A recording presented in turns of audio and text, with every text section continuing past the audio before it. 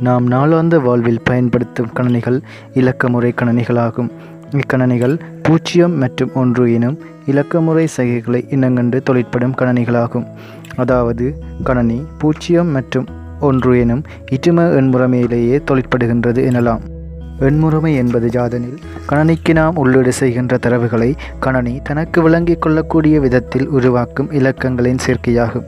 எண்முறைமை என்ற எண்ணக்கரு முதலில் எண் சட்டத்தில் பயன்படுத்தப்பட்டது. நான்கு வகையான எண்முறைமைகள் உள்ளன. இடுமம் எண்மம் பதின்மம் பதினருமம் இதில் இடுமம் கணனி பயன்படுத்தும் மென்முறைமையாகும் பதின்மம் சாதாரணமாக கணித்தல்களில் நாம் பயன்படுத்தும் மென்முறைமையாகும் இவ்வட்டவணையிலேயே எண்முறைமைகளும் அவற்றின் அடிப்பெருமானங்களும் பயன்படுத்தப்படும் இலக்கங்களும் மற்றும் எழுத்துக்களும் காட்டப்பட்டுள்ளன. முதலாவதாக இரும எண்முறைமையின் அடி இரண்டாகும். சைவர் மற்றும் ஒன்றை மட்டும் பயன்படுத்துகின்றோம். அடுத்ததாக எண்ம எண்முறைமை அதன் அடி எட்டாகும். பூஜ்ஜியம் தொடக்கம் ஏழு வரை பூஜ்ஜியம் ஒன்று இரண்டு மூன்று நான்கு ஐந்து ஆறு ஏழை பயன்படுத்துகின்றோம். அடுத்ததாக பதின்ம எண்முறைமை நாம் சாதாரணமாக பயன்படுத்தும் எண்முறைமை அதனுடைய அடிப்பெருமான பத்து ஆகும். பூஜ்ஜியம் தொடக்கம் ஒன்பது வரை பயன்படுத்துகின்றோம். அடுத்ததாக பதினறுமன் முறைமை. அதன் அடிப்பெருமானம் பதினாறு ஆகும். பூஜ்ஜியம் தொடக்கம் ஒன்பதும் பின்பு ஏபிசிடிஇஎஃப் e, என்றும் பயன்படுத்துகின்றோம். பதினாறு எண்ணில் பத்தை பயன்படுத்த முடியாது. ஆகவே ஏஇக்கு பத்தும் பிஇக்கு பதினொன்றும் சிஇக்கு பன்னிரெண்டும் டிஇக்கு பதிமூன்றும் இஇக்கு e பதினாலும் எஃப்க்கு பதினைந்தும் பயன்படுத்துகின்றோம். முதலாவதாக பதின்ம எண்களை இரும எண்களாக மாற்றுவதை அவதானிப்போம்.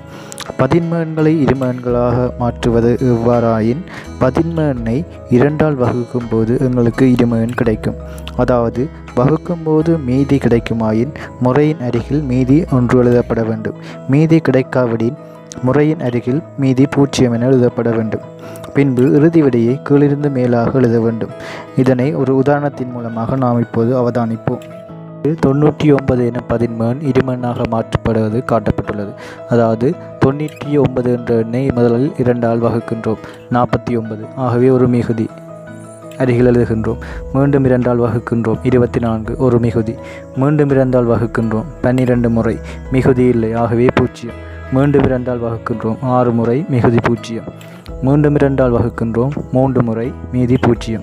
மூன்றை இரண்டால் வகுக்கின்றோம். ஒரு முறை. ஒரு மிகுதி. ஒன்றை மீண்டும் இரண்டால் வகுக்கின்றோம். முறை எதுவும் இல்லை மிகுதி ஒன்று. ஆக பின்பு பெறப்பட்டபடியே கீழிருந்து மேலாக எழுதுகின்றோம். ஒன்று ஒன்று பூஜ்ஜியம் பூஜ்ஜியம் பூஜ்ஜியம். ஒன்று ஒன்று அடி இரண்டு அடுத்ததாக இரும எண்ணை பதின்ம எண்ணாக மாற்றுவதை அவதானிப்போம். இது சற்று வித்தியாசமான முறையாகும்.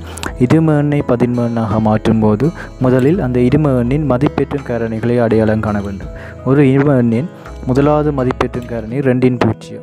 அடுத்தது ரெண்டின் ஒன்று ரெண்டின் ரெண்டு ரெண்டின் மூன்று ரெண்டின் நான்கு ரெண்டின் ஐந்து என்றவாறு செல்லும். இதனை பயன்படுத்தி நாங்கள் இரும எண்களை பதின்ம எண்களாக மாற்ற முடியும். தரப்பட்டுள்ள ஒரு இரும எண்ணை பதின்ம எண்காக மாற்றுவதை பின்வரும் படத்தில் நீங்கள் காண்கிறீர்கள். அதாவது ஒன்று பூஜ்ஜியம் ஒன்று பூஜ்ஜியம் ஒன்று ஒன்று எனும் இரும பதின்மன்களாக மாற்றியுள்ளார்கள். அதாவது முதலில் அந்த ஒன்று பூஜ்ஜியம் ஒன்று பூஜ்ஜியம் ஒன்று ஒன்று எனும் இரும எண்ணின் மதிப்பீட்டு கரணிகளை காண வேண்டும். அங்குள்ள முதலாவது ஒன்றின் மதிப்பீட்டு கரணி ரெண்டின் பூஜ்ஜியம் அந்த இடப்பெறுமதி ஒன்று. அடுத்தது ரெண்டின் ஒன்று இடப்பெறுமதி ஒன்று. அடுத்த மதிப்பீட்டுங் கரணி ரெண்டின் ரெண்டாம் இடம் அதில் உள்ள இடப்பெறுமதி பூஜ்ஜியம். அடுத்தது ரெண்டின் மூன்றாம் இடம் தர ஒன்று. ரெண்டின் நான்காம் இடம் தர பூஜ்ஜியம் ரெண்டின் ஐந்தாம் இடம் தர ஒன்று. இதனை நாங்கள் பெருக்கி விடைகளை பெறுகிறோம். ஒன்று இரண்டு எட்டு முப்பத்தி ரெண்டு இதை கூட்டும்போது நாற்பத்தி மூன்று அடி பத்து எங்களுக்கு கிடைக்கிறது. ஆகவே ஆகவே இந்த வீடியோவில் நீங்கள் எவ்வாறு பதின்மேன்களை இருமேன்களாக மாற்றுவது என்பதையும் எவ்வாறு இருமேன்களை பதின்மேன்களாக மாற்றுவது என்பதையும் தெளிவாக புரிந்து கொண்டிருப்பீர்கள். அடுத்த வீடியோவில் ஏனைய எண்முறைமைகள் பற்றியும் நாம் அறிந்து கொள்வோம். நன்றி.